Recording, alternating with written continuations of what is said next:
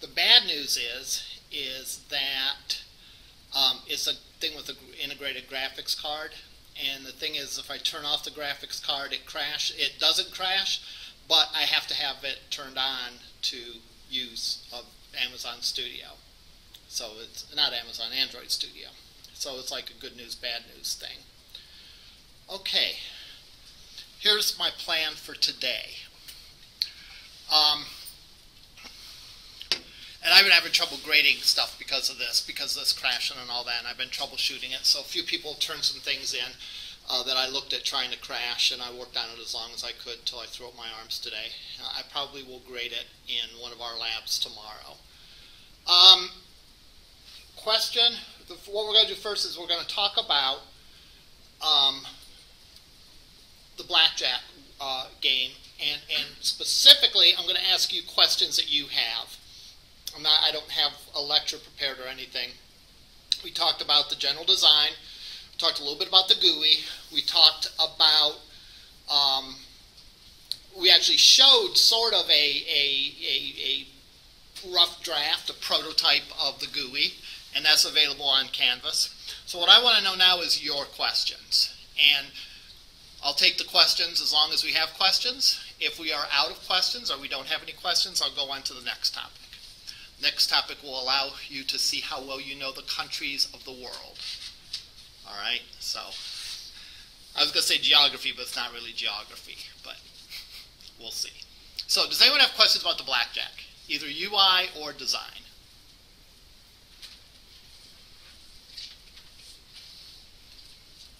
All right.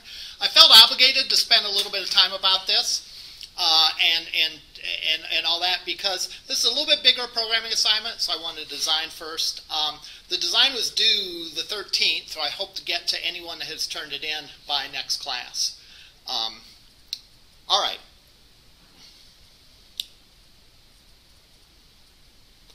So, nations of the world. We have a guess the country game where we show a flag and you have to identify what country it's from. Right? There's a whole lot of new stuff in this one, so we'll, we'll spend some time going over this one.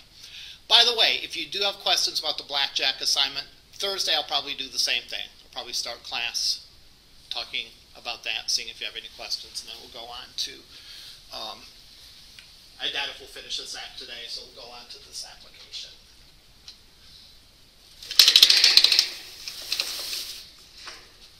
All right.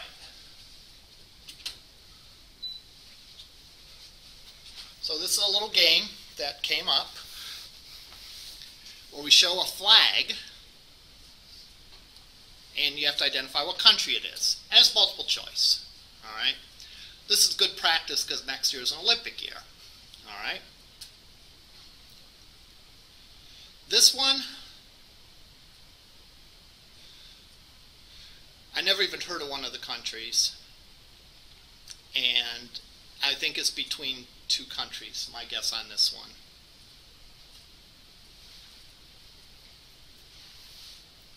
Oh, I got to drag it over to the other screen. Okay. So, guess the country. Is that Qatar, Iceland, Central African Republic, or St. Kitts and Nevis, which I have never heard of in my life? If I had to guess, it would be uh, Central African Republic. Okay. I'm thinking it's one of these two. I'm, I'm pretty sure it's not Iceland. I kind of think I know what Iceland looks like. I'm pretty sure it's not Qatar which is a Middle Eastern country. So it's either Central Africa. So let's try this one first. Hey, you got it right. The only reason I thought that is because it had green, which is, and this is going to be my geography nerd coming out, but green is a representative color for flags of the uh, pan-Islam Okay, got it. This one, this one I think is easy. Uzbekistan, Pakistan, Vietnam, or Cyprus? I'm going with Pakistan. And it is. All right. Ooh. I think I got this one. Venezuela, Iceland, Guinea Bissau, and Austria. Pardon me? That is Iceland. Yay, we're on a roll. Whoops. Oh, I, I accidentally clicked Hungary. That's not what I would have guessed. So San Marino, Malta, or Lesotho. I want to pick something wrong. I'm going to I'm going to click Malta. I don't think it's Malta, but I want to show you what happens if you get it wrong. It shakes its head at you. Tells you you got it wrong. All right, San Marino. Yay. That is Australia. All right. Notice, too, the, the fade in and fade out. So I want you to get a sense of all this because I think it's good to sort of note these behaviors. So later on, when we start seeing code, um, even if we're not ready to delve into that code, we can look, say, well, remember that fade in, fade out. Yeah, that's what that does, and then we can come look at it later. This one, it's not Luxembourg. Uh, so I'm going to click Luxembourg on purpose just to see the animation again. We'll go with this one. And it was.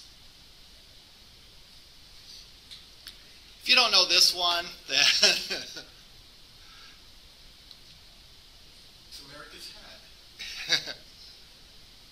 and finally this one, I am gonna guess Cook Islands. Ooh. We already guessed that one, so we know it's not that one. Solomon Islands or Congo? I'm gonna go with Solomon Islands. Well, I'm gonna go with Congo. All right. And we have two more questions. Notice the way this works. You go until you get it right, which, you know, I don't know. Your, your, your accuracy then is based on how many guesses. So you got 10, it's assuming you got all 10 of them right, how many guesses you took. So if you took 20 guesses to get all 10 of them right, it gives you like, I think, a 50%. So I don't know about that. That's not the Sudan. That's probably not Ivory Coast. I'm going to go with Serbia and Montenegro. All right. And finally, Falkland Islands, Qatar, Zambia. I'm going to go with Falkland Islands. I think it's Peru. Zambia? There we go. So it took us 16 guesses to get 10 right. So that is, yeah, that's 5 out of 8, so that's 62%. All right, so that's how it does the calculation. So how many guesses it took you to get 10 right? 10 divided by number of guesses, that's your percentage reset the quiz. All right, couple other things about this. Notice we have a little settings guy up here. The settings guy, we can display how many choices there are. So we had what, four choices? You could choose two, four, six, or eight. You click on that, you get a dialog. All right. If you change it, it resets the quiz automatically, which makes sense. There's also, you can limit it to certain regions of the world. So you click that, you can limit it to North America.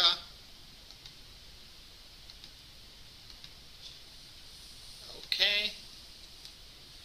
And now the quiz will restart as we go back. All right. Bahamas? Yeah. Okay, we're not going to go through and play the whole thing, but you get the idea. So, what is new about this? All right? And, what is old about this? Let's make some observations about this. All right? There's a random element involved, obviously. There's a random element two different ways, right? There's a random flag that is displayed, and then random choices are displayed. All right? So, depending on what we have said, either there's two, four, six, or 8. Now, one thing about the random choices is they're not really 100% random, right? Why aren't they 100% random? Well, we better put the right answer on the list of things. So, if we're displaying two uh, options, or four options, or six options, one of them has to be the right option. We're not randomly picking six options. We're picking the right answer and we're randomly picking five others. And also, if we're smart, we're not putting the right answer in the same place each time, because that'd be pretty easy to figure out if it was always the first option or the second option or the third option. All right, so that's different. Um, the layout is at least partly dynamic. All right, it's partly dynamic a couple different ways. You know, it's dynamic as far as what image we display. It's dynamic as far as how many of these options we show, and of course the specific value of those options. There are dialogues, so there is a settings menu and dialogues. Um, and then there's the cute little animations. When we pick something, the shake, if it's wrong, we get it right, it sits there for a minute, and then it gives us a fade in and fade out. So these are some of the things that are different for this application than previous applications we've looked at. So let's look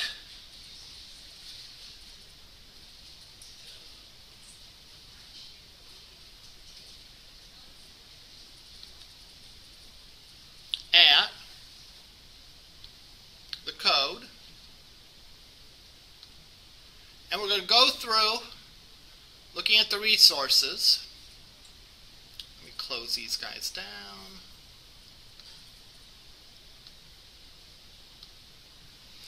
First of all, we have a new one. We have an animation. And it's described in an XML file um, pretty common. Most of the things that we have as far as resources go that are files are stored as XML, simply because of the power of XML. Now, we're not going to spend too much time looking at it right now, but just to take a quick glance at it,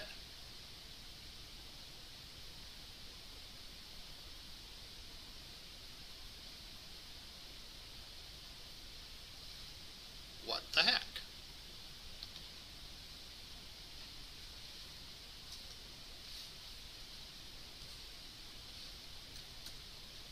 just died.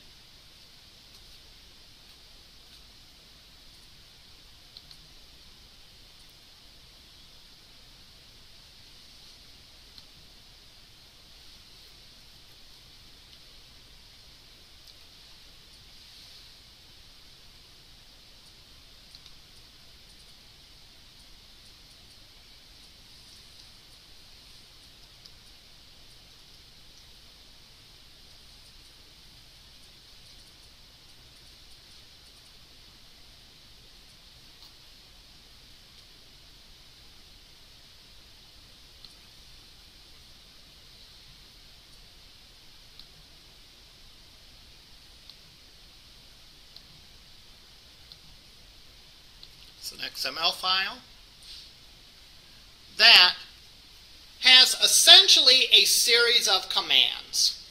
And we'll look at these. It's actually easier than you'd think. All right, but we'll take a look at, at these and take a look at how it gets played.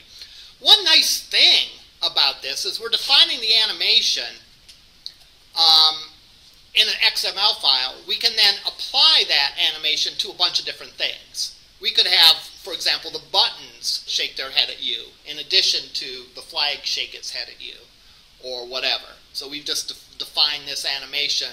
Is stored, uh, the commands that we execute are stored in an XML file. We can go and we can apply that animation to anything. We have our color file, which we had before. Drawables,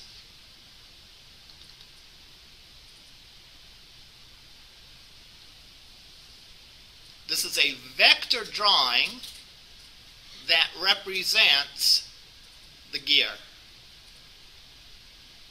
All right, the gear for the settings at 24 dp.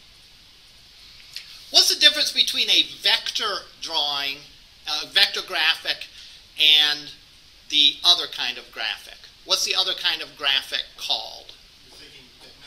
A bitmap, yeah. And I don't mean the Microsoft BMP format. It's called a bitmap. What's another word for bitmap? Raster. All right? Not Rasta, so it's not like a reggae thing. It's raster. R-A-S-T-E-R. What's the difference between a, and none of that's really critical, but what's the difference between a vector and a bitmap graphic?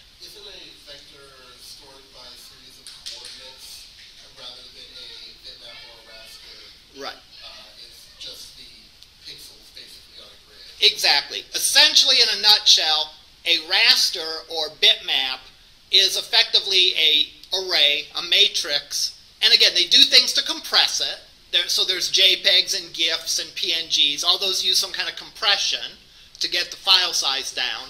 Like if you had a giant block of white, they wouldn't store each pixel as white. They'd store something that indicated that there's a bunch of white in this area or whatever.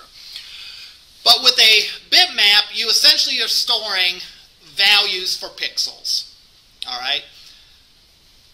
A vector more or less shows uh, shows the instructions to draw something. All right. And again, uh, let me just real quickly do this. So, if I had a bitmap or a raster graphic, it might be a circle that looks like this, let's say. But really, if we like X-ray, not X-ray, but like magnified the pixels, they would look like this. They'd be in an array, a grid, and they really would look like this. If we, if we were going to like really magnify this. Now, what does that have to do with anything? If you resize a raster image or bitmap image, what happens?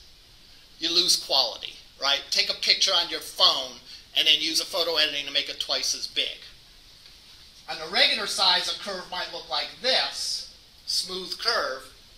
If you expanded it, it would kind of look almost like a staircase, jagged edges. That's simply because there's not enough information to make a big image out of a little image. All right, there's not enough pixels to fill it in.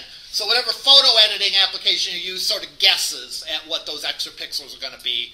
And again, it's not perfect, but it will it'll make it bigger, but you'll lose quality. It'll look blurry and jagged edges and all that. A vector graphic isn't like that. A vector, a vector graphic contains more or less the instructions or the vertices uh, of the drawing that you're going to draw.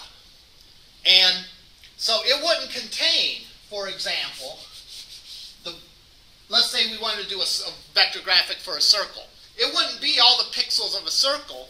It would be instructions to say, make a circle with a radius of 10 or whatever.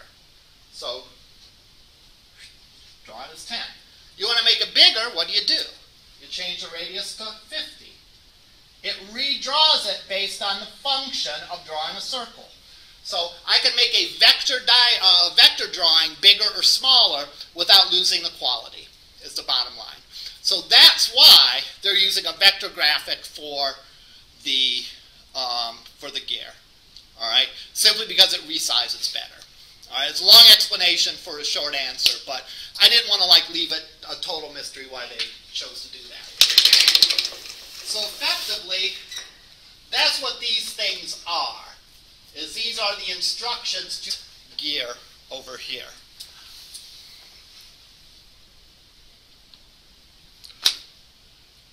Shut down again.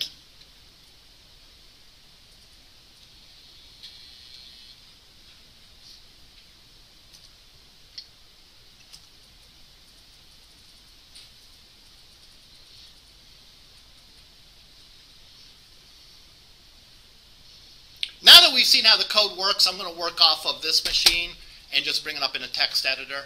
Or we have well, we have uh, Android Studio on this. I'll bring it up in Android Studio. I just won't run it because it takes three years to bring up the emulator. If I ever need to run the emulator, I'll run it on this and just show it to the class. Hopefully they will have my old laptop or my new laptop fixed over the next few days. It drowned in an accident.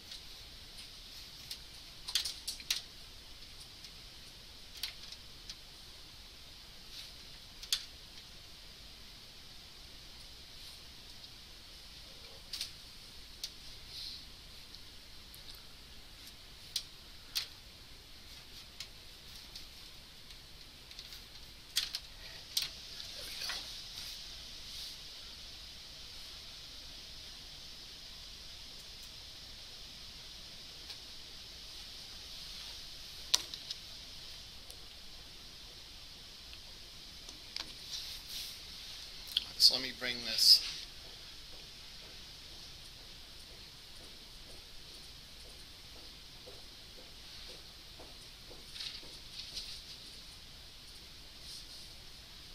I'm gonna at least get through the resource files and maybe start looking at the activity.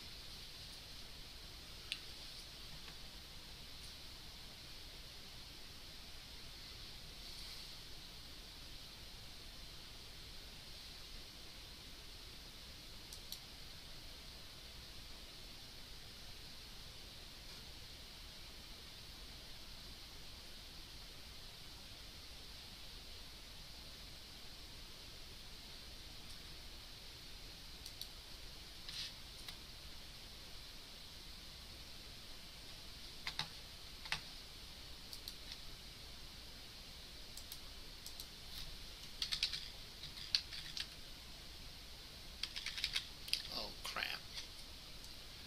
Um, I don't think I posted this one to Canvas. We can go and look for Deitel. Android Studio. Examples. Third edition.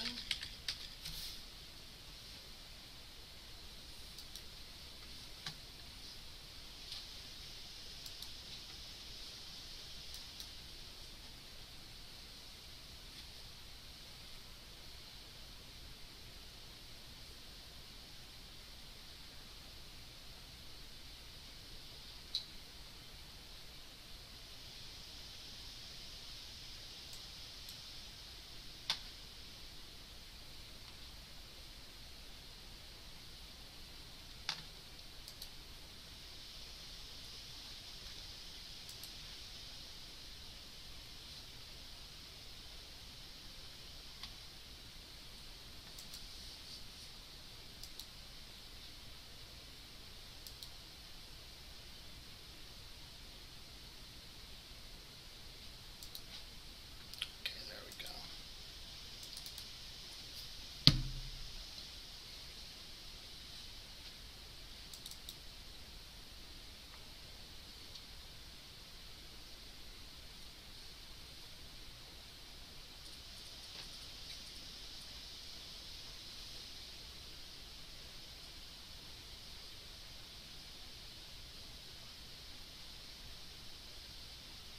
What did they used to have as the waiter waiting thing before the circle that goes around?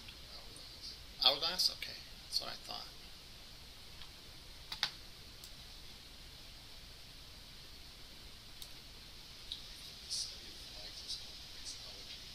It's called what? Vexology? Wow. It's a good word.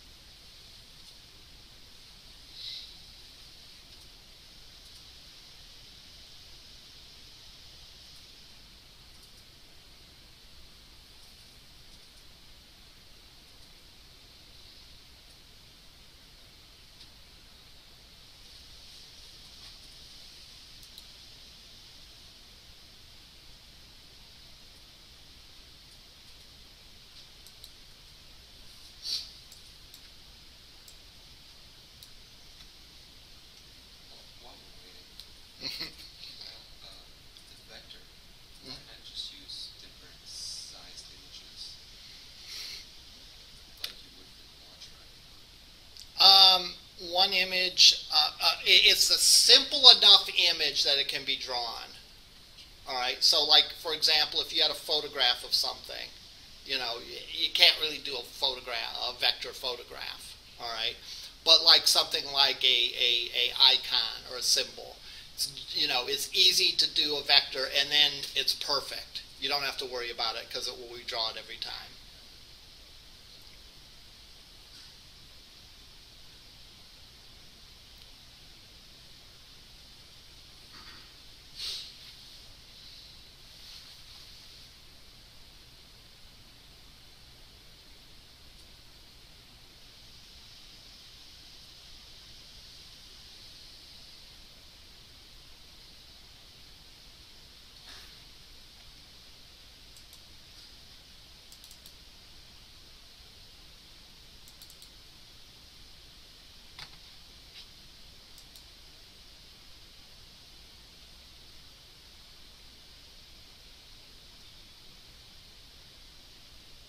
It's really take that long to unzip this file?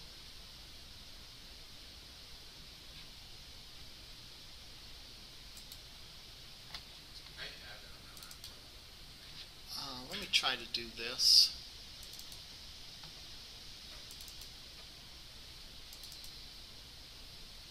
Let me just try to pull the one that we want, the flag quiz. There we go.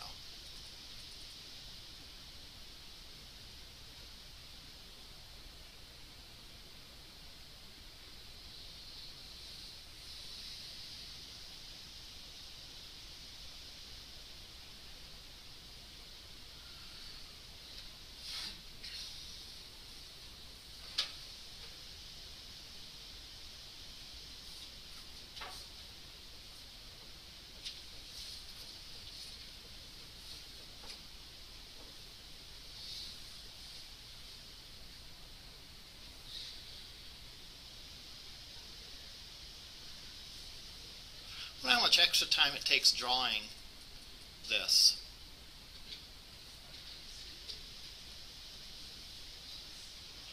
Because I swear, when I downloaded these on my Mac, I double clicked the zip file and they were there. you know, it wasn't like, you know, I didn't get a nice graph, but it was there pretty instantly.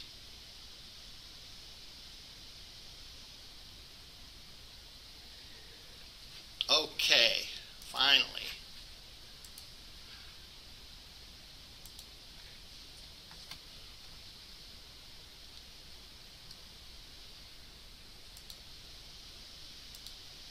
Open the flag quiz.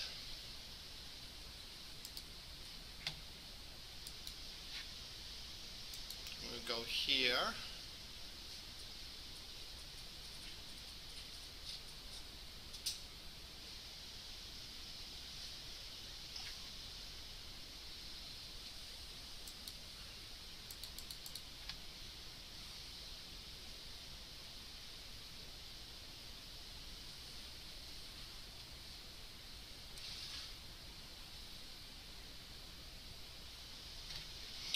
Actually, while it's doing that, I can just open the files up in the editor.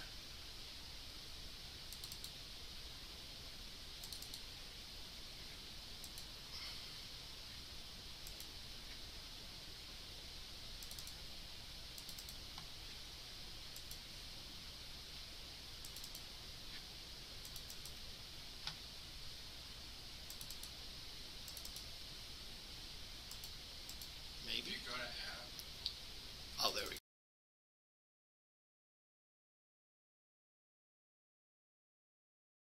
go. uh, it's in the source, and then the main. Ah, okay. And then- okay, there you go. Thanks.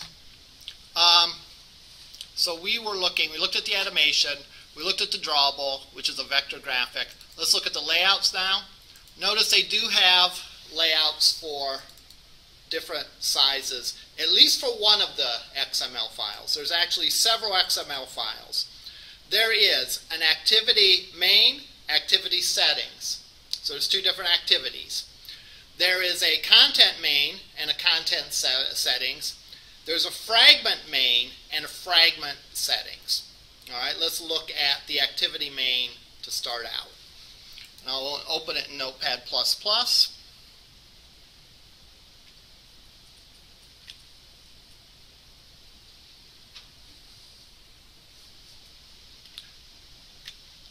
It is a app bar layout. That was the bar on the top where we put the settings icon. And uh, there's a toolbar uh, for it as well. And then we have the layout, um, uh, the, the content main. So we did similar to what we did in the other example, the Twitter search, where we have a, sort of a, a file that we include. That just allows us to keep this simple, and the main layout for the game is contained in content main. We do the same thing, I'll bet, with uh, activity settings. All right, same thing. Coordinator layout, slightly different layout, but we have a content uh, settings uh, that we bring in. The fragment that we have consists of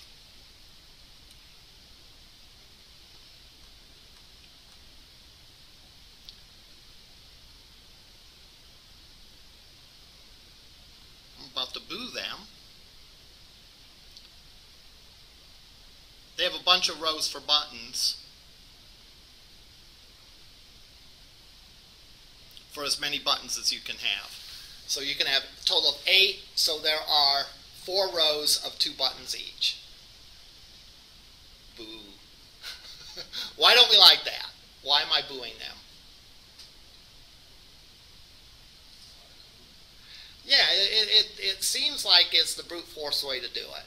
It would be much more elegant instead if we had simply an area and did something similar to what we did in the other example, where we um, inflated that button as many times as we wanted to.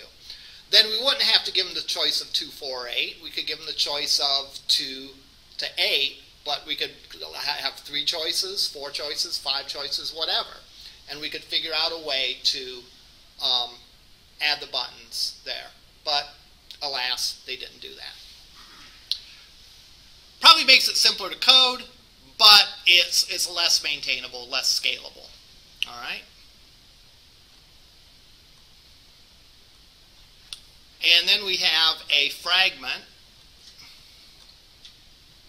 for, let's see how this, let me go back to activity main.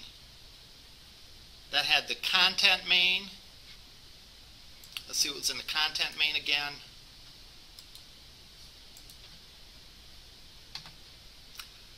The content main consists of this fragment. Um, a fragment is something that you can reuse in other contexts. So I'm not really sure why they used a fragment here, but but again, they did. Um, they could have had the include to include directly that fragment. Um, when we look at the code, we'll see the differences between that and and uh, and possibly we'll see the differences between that or see maybe some reason why they did that. So the main layout really consists of three parts the, the, the, uh, the activity main, the content main, and the fragment main. The activity main is really just sort of a shell. It says that there's going to be a toolbar on the top of the page and so on. The content main is really nothing. It just says that that's going to be consist of a fragment that we bring in. And the fragment main is where all the actual stuff is. So the flag image, the score, and all that uh, is in there. All right. And I would imagine the settings is the same thing. So, menu,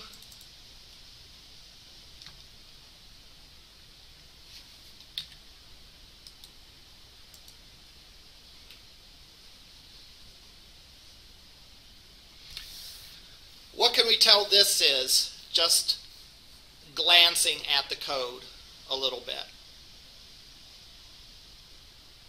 What does this use? This uses the icon. Was that icon that drawable? That was a vector. So this is the menu on the main activity that, and again, it even says it's associated with the main activity, that displays that little um, gear up in the right side of it. So it gets the drawing from the drawable, uh, which is a vector drawing.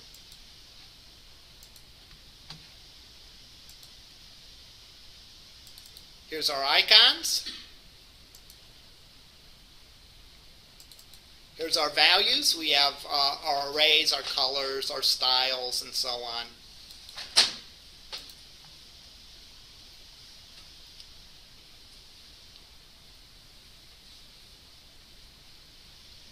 We actually have a regions list and a region list for settings.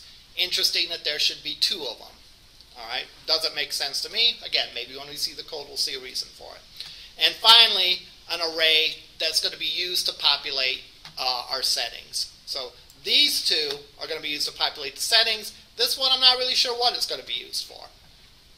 I don't know why we couldn't use the same array twice. All right, colors. We define the colors that we want for different things. Dimension strings, styles. Those serve the purposes that we've done before. Finally, there's an XML. And the XML is storing the preferences. All right? It'll be interesting to see if we run this. My guess would be that if we run this and close it, that it saves this XML data somewhere so that if we run it the next time. All right? So this is, this is an XML to use to store uh, the preferences. This is a step up than what we did before. How did we store our stuff before? We stored it as simply strings in the, um, God, what was that called for persistence for the Twitter search? The shared preferences. All right. My guess is that we can store, in addition to strings, we can store, store XML. That's a step up, right? Because with XML, we can, we can uh, store structure. I don't think there's anything necessarily about this that would require us to do that, uh, uh, use XML, but if they did use the preferences that way, it would be a, a good demonstration of something new. With that file, they have, for, they have both of the arrays with region listed there. For, uh, another one above it. Arrays region list, arrays.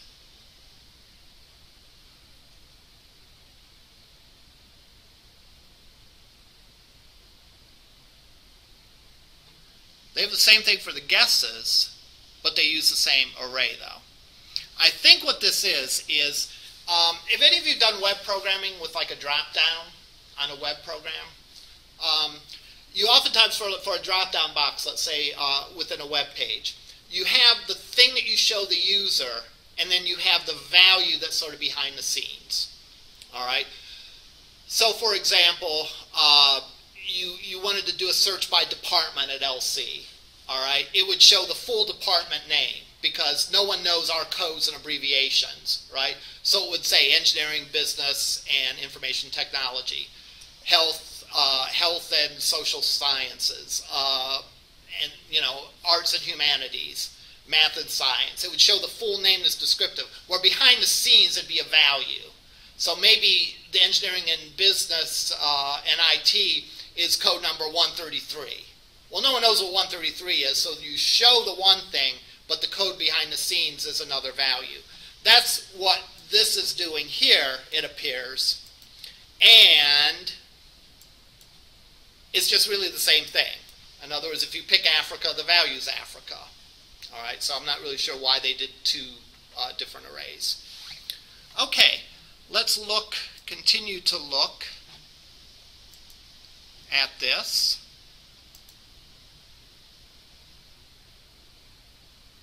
Under assets. Okay, assets, they have a folder for each of the images. All right. The reason for that is, remember, we can uh, we can pick uh, the regions that we want. So if we pick Africa and Asia, for example, it will go in and it will use all the images from Africa and all the images from Asia. It also, though, includes the name of the file uh, to have the region, a dash, and the country name.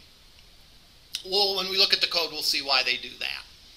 because it, that, that seems a little redundant, but again, they may have a good reason for doing that within the code. All right? And they follow that convention for all of the different uh, regions. So it's in a folder that's the name of the region, and the, the file name for the flag is a region dash country name dash PNG. All right, so let's look at our activity and see how far we get with that. We have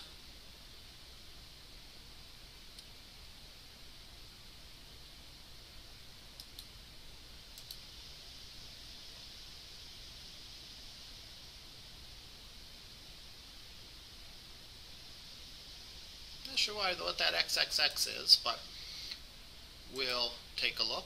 We have our main activity.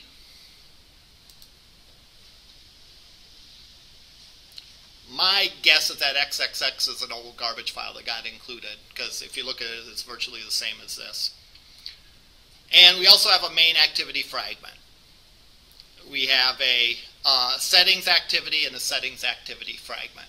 What do we define an activity as again?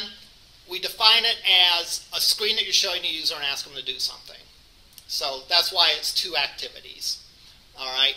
And if you notice, how did we get back to the other one? We click the back button. So the back button takes you to the previous activity. So we have our main activity. We press the settings. That fires off a new activity. And to get to the original activity, we go back. So let's look at the main activity. All right. Oh, shared preferences again. So it's remember it's going to remember our choices. We have uh, an intent. What do we use intents for?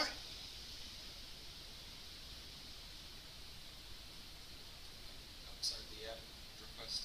Well, like mm, 95% right. A, a request for another activity. So it could even be within the same app. So for example, we're going to use an intent when we want to open up the settings. All right.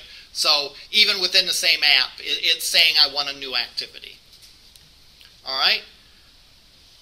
There's some other things. There's a preference manager, a few other things, a menu, and finally toast.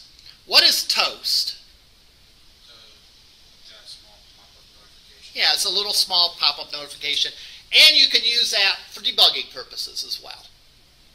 All right. So, let's look at this. We have declared a couple of constants, one for choices and one for regions.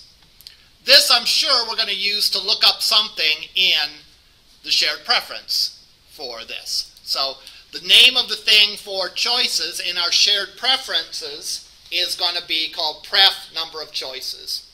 For regions, it's going to be pref regions to include. We have noticed that we have a phone device used to force por uh, portrait mode. So this does some device detection to see if we're on a phone, and it will force us to be in portrait mode, um, as opposed to us being on a tablet when it would allow us to switch between portrait and landscape. And we have a boolean that says did the preferences change, and we initialize it to true. So on create, excuse me, we call the superclasses create to make sure that gets done. We set our content view, which is our activity main. We define a toolbar, or actually we find uh, we find the toolbar within our activity. So find view by ID, our ID toolbar. so we find the thing that has an ID of toolbar.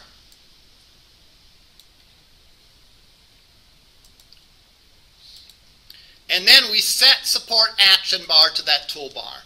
So that lets Android know that, hey, this guy is serving the role of toolbar. We set the default manager for shared preferences.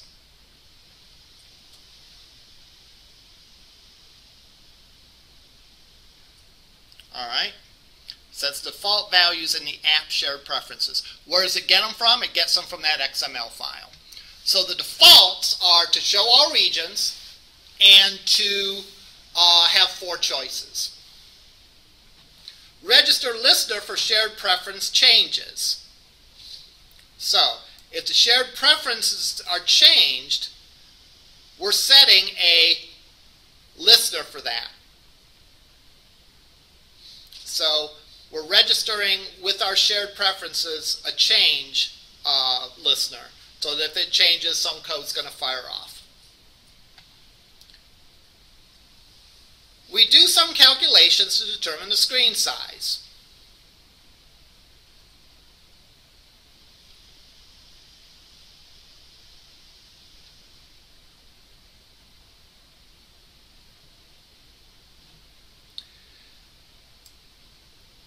Based on that, we determine if it's a phone device or not.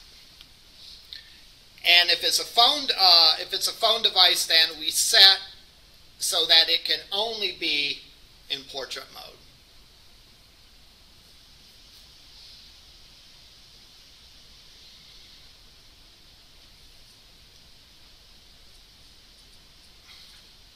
After that occurs, we execute the on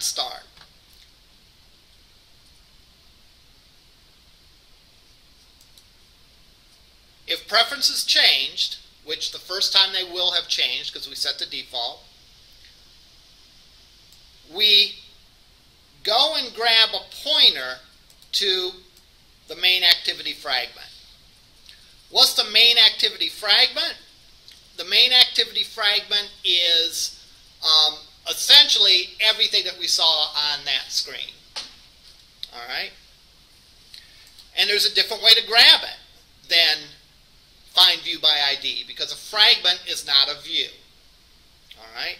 So we don't use, we use a similar thing, find fragment by ID, and we cast that to main activity fragment.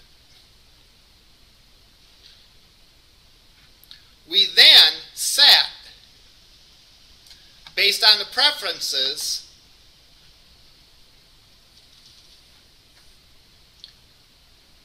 how many rows we're going to see, what regions we're going to see, and then we restart the quiz. All right? That code lives where? The code lives associated with a fragment. So that code is the main activity fragment. Here's sort of the idea of a fragment as compared to just having a view. A fragment is a collection of views that we can have code associated with. So it's almost like a little mini activity. But it's one that we could share between several different activities. All right?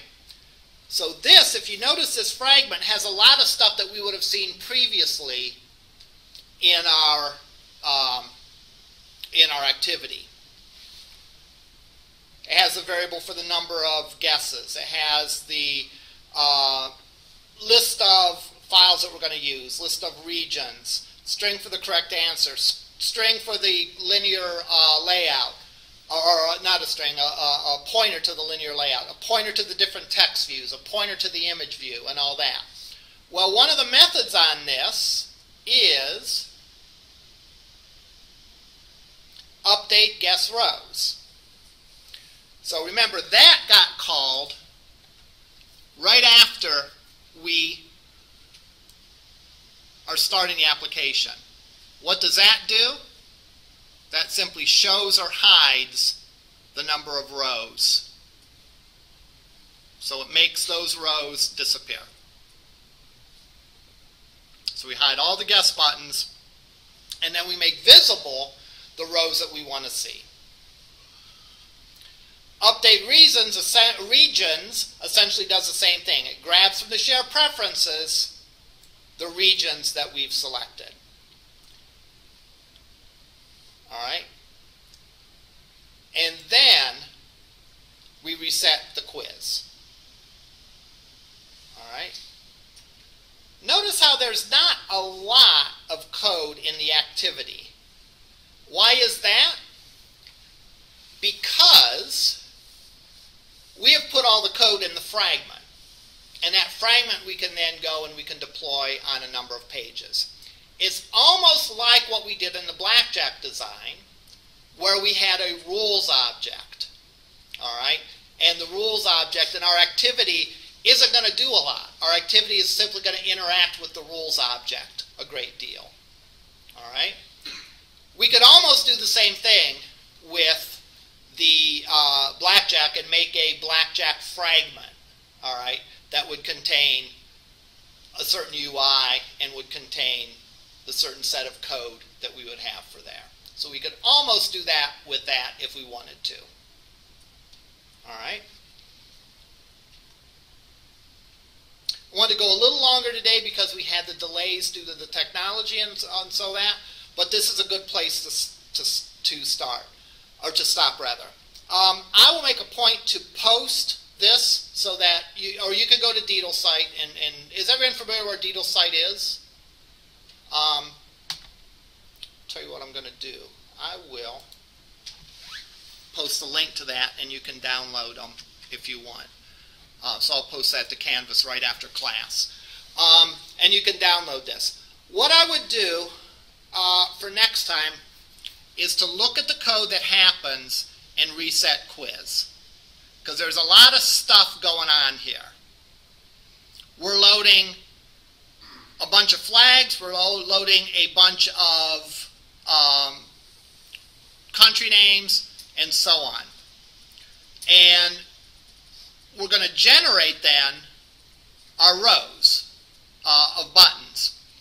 And we're going to make sure that one of the buttons has the correct answer and the other three or four or, or three or, or two or one or three or however many buttons there are have incorrect answers. So if you can re if you can review for next time the code starting in reset quiz, how we initialize the quiz. That's where we'll pick up uh, reviewing um, on Thursday. Of course, if you have any questions about blackjack, I'll address those as well. Are there any questions at this point? All right. Is anyone staying for lab? Okay. All right, we'll see you over in lab.